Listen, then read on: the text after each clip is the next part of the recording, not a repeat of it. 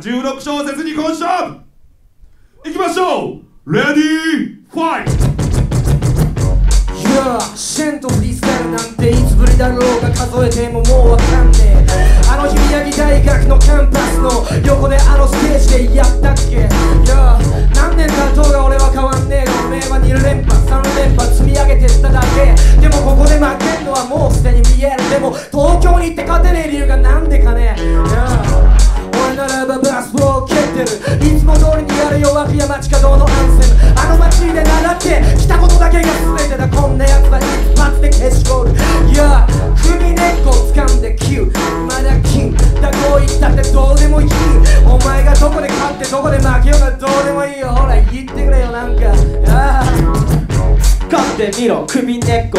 先輩のカツアゲなんか全く怖くねえ。さっきの勢いどう終了。置いといて頂点に行くぞディスやり合うの何回目いやバトルは初めてでしょ勘違いすんじゃねえバクやなんもねえ街メガロマニアのアニマルかくラウシェンのフリースタイル止まらデンジャー16小節長い旅路からのラストマイク持った覚悟今年はチャレンジャー俺が先行くそこどけふざけんな俺はマイクで革命が起こしたい。仙台を誰よりもヤバいって伝えたい。みんな分かってるがどっちが勝つか決めようぜ。こんな雑魚まず置いとこうぜ。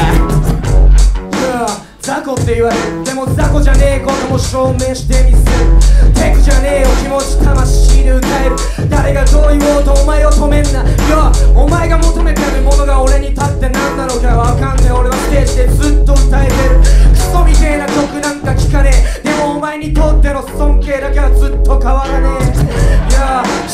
負けるとこなんか見たくねえが崩れてくなジェンガいやここの均衡でやつがあるかどうか知らねえけどみんな楽しんでんの。いやお前がどこだ？お前はどこだ？分かってることは一つだけ。あるいやお前の地元レップして戦え。